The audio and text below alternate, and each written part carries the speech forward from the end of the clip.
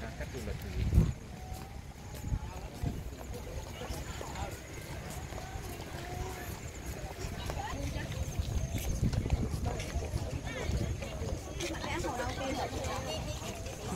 lại thì đồ chỗ này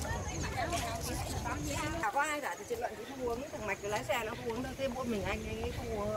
không uống gọi là như như mà thằng má với nhau cái chỗ đấy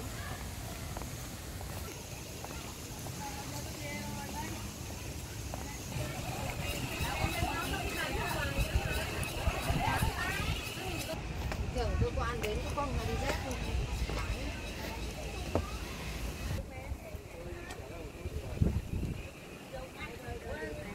chị áo xanh rồi tí